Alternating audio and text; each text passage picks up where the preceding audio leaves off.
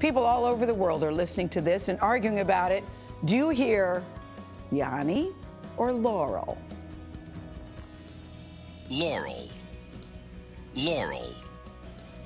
Laurel. How does anybody hear Laurel out of that? We're going to What? discuss ahead why the answer is so important to so many of us.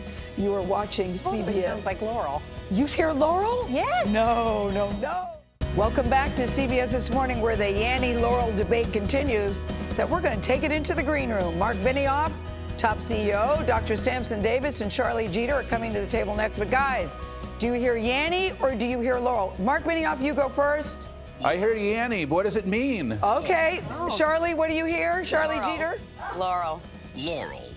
Dr. Sampson Davis, what do you hear? obviously uh, is Yanny. Okay, they say people over the uh, people uh, 25 tend to hear Yanny. If Mm. you're younger, you hear Yanny. If you're older, you tend to hear Laurel. It all has to do with higher your higher pitch Well, there frequency. goes So there you go, Marc Benioff. Proof you guys are so young. We have young ears. I like it. ears. I like it. I like it. I like it. All of that.